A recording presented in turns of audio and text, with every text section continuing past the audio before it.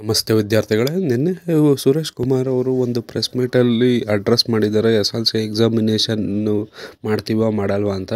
ಆದರೂ related information ಕೊಡೋಕ್ಕಾಗಿ ಈ ವಿಡಿಯೋನ ಮಾಡ್ತಾ ಇದ್ದೀನಿ. ಈ ವಿಡಿಯೋನ ತಪ್ಪದೆ ನೋಡಿ, ಮತ್ತು ಕಂಪ್ಲೀಟ್ ಇನ್ಫಾರ್ಮೇಷನ್ ಕೊಡುತ್ತೆ. ಮತ್ತು ನಿಮ್ಮ ಪಿ ಯು ವಿದ್ಯಾರ್ಥಿಗಳಿಗೆ ಕ್ವಶನ್ ಪೇಪರು, ಮತ್ತು ಆನ್ಸರು ಇರೋ ಕ್ವಶನ್ ಪೇಪರ್ ಲಿಂಕನ್ನು ಡಿಸ್ಕ್ರಿಪ್ಷನಲ್ಲಿ ಹಾಕಿರ್ತೀನಿ. ಅಲ್ಲೋಗಿ ಡೌನ್ಲೋಡ್ ಮಾಡ್ಕೊಳ್ಳಿ. ಈ ಪ್ಯಾನಿಕ್ ಸಿಚುವೇಷನಲ್ಲಿ ಸುರೇಶ್ ಕುಮಾರ್ ಅವರು ಏನು ಹೇಳ್ತಾ ಇದ್ದಾರೆ ಅಂದರೆ, ನಿಗದಿತ ಸೀಮಿತ ಅವಧಿಯಲ್ಲೇ ನಾವು ಪರೀಕ್ಷೆಗಳನ್ನು ನಡೆಸ್ತೀವಿ. ಯಾವುದೇ ಪ್ಯಾನಿಕ್ ಆಗಬೇಡ. ಬೇಡ ವಿದ್ಯಾರ್ಥಿಗಳು ಅವರ ಪ್ರಿಪ್ರೇಷನ್ನ ಸ್ಟಾರ್ಟ್ ಮಾಡಲಿ. ಜೂನ್ ಇಪ್ಪತ್ತೊಂದಕ್ಕೆ ನಾವು ಎಸ್ ಎಲ್ ಸಿ ಎಕ್ಸಾಮ್ನ ಸ್ಟಾರ್ಟ್ ಮಾಡ್ತೀವಿ. ಮತ್ತು ಪಿ ಯು ಸಿ ಎಕ್ಸಾಮ್ನ ಪೋಸ್ಟ್ಪೋನ್ ಮಾಡಿದ್ದೀವಿ. ಆದರೆ ಅವ್ರಿಗೂ ಹೊಸ ಟೈಮ್ ಟೇಬಲ್ನ ರಿಲೀಸ್ ಮಾಡಿದ್ದೇವೆ. ಆ ಟೈಮ್ ಟೇಬಲ್ ಪ್ರಕಾರನೇ ನಡೆಸ್ತೀವಿ. ಮತ್ತು ಯಾರೂ ಪ್ಯಾನಿಕ್ ಆಗೋಕ್ಕೆ ಹೋಗಬೇಡಿ ಮತ್ತು ಅವರು ಪ್ರಿಪ್ರೇಷನ್ನ ಸ್ಟಾರ್ಟ್ ಮಾಡಿ. ಇನ್ನೂ ಒಂದು ತಿಂಗಳಿದೆ. ವಿದ್ಯಾರ್ಥಿಗಳು ಯಾವುದೇ ಅನೈತಿಕರ ನ್ಯೂಸ್ಗಳಿಗೆ ಕಿವಿ ಕೊಡದೆ ನಿಮ್ಮ ಪ್ರಿಪ್ರೇಷನ್ನ ನೀವು ಸ್ಟಾರ್ಟ್ ಮಾಡಿ ವಿದ್ಯಾರ್ಥಿಗಳೇ, ಇವರು ಯಾವ ಕ್ಷಣ ಬೇಕಾದ್ರೂ ಬದಲಾಗ್ಬೋದು. ಸುರೇಶ್ ಕುಮಾರ್ ಅವರು ಈಗ ನಾನು ಟ್ವೀಟ್ ಕೂಡ ಮಾಡಿದ್ದೀನಿ ಅವ್ರಿಗೆ, ಮತ್ತು ಸಿ ಎಂ ಅವ್ರಿಗೆ.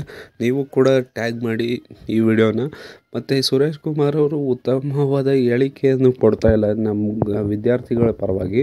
ಆದ್ದರಿಂದ ವಿದ್ಯಾರ್ಥಿಗಳು ತುಂಬ ಸ್ಟ್ರೆಸ್ನಲ್ಲಿದ್ದಾರೆ ಅಂತ ಗೊತ್ತು. ಆದ್ದರಿಂದ ಸುರೇಶ್ ಕುಮಾರ್ ಅವರು ಏನು ಮಾಡ್ತಾಯಿದ್ದಾರೆ ಅಂದರೆ, ಈಗ ಒಂದು ಉತ್ತಮವಾದ ಸಲಹೆಯನ್ನು ಕೂಡ ಕೊಡ್ತಾಯಿದ್ದಾರೆ ಈಗ ಯೂಟ್ಯೂಬಲ್ಲಿ ಚಾನಲ್ಗಳಿರ್ತವೆ ಅದರಲ್ಲಿ ಪಾಠ ಮಾಡ್ತಾ ಅಲ್ಲ, ನಿಮಗೆ ಯಾವ ಟಾಪಿಕ್ ಅರ್ಥ ಆಗಿಲ್ಲ, ಆ ಟಾಪಿಕನ್ನು ಅಲ್ಲೇ ಹೋಗಿ ಕಲೀರಿ ಅಂತ ಸುರೇಶ್ ಕುಮಾರ್ ಅವರು ಕ್ವೇಟ್ ಕೂಡ ಮಾಡಿದ್ದಾರೆ. ಮತ್ತು ಅಪ್ಡೇಟ್ ಏನು ಅಂದರೆ, ಈಗ ಮನ್ ರಿವಿಷನ್ ಕ್ಲಾಸಸ್ನ ಸ್ಟಾರ್ಟ್ ಮಾಡ್ತೀವಿ ಜೂನ್ ಒಂದರಿಂದ ಅಂತ ಹೇಳಿದಾರಲ್ಲ ಜೂನ್ ಒಂದರಿಂದ ಸ್ಟಾರ್ಟ್ ಮಾಡ್ತಾರೆ ಕನ್ಫರ್ಮ್ ಆಗಿ ಮಾಡ್ತಾರೆ ಅಂತ ಹೇಳಿದ್ದಾರೆ ಮತ್ತು ಮೇ ಇಪ್ಪತ್ತೈದರವರೆಗೂ ಲಾಕ್ಡೌನ್ ಇರೋದ್ರಿಂದ, ಆಮೇಲೆ ತಿರ್ಗಾ ಎಕ್ಸ್ಟೆಂಡ್ ಮಾಡಿದ್ರೆ ಏನು ಗತಿ ಸುರೇಶ್ ಕುಮಾರ್ ಅವರೇ? ಆದ್ದರಿಂದ ಈಗ ನೀವು ಲೈವನ್ನ ಬನ್ನಿ, ಇಲ್ಲ ಫೇಸ್ಬುಕ್ ಇನ್ಸ್ಟಾಗ್ರಾಮ್ ಯಾವುದನ್ನ ಲೈವ್ ಬಂದು ಈ ವಿಷಯಗಳ ಬಗ್ಗೆ ಅಡ್ರೆಸ್ ಮಾಡಿ.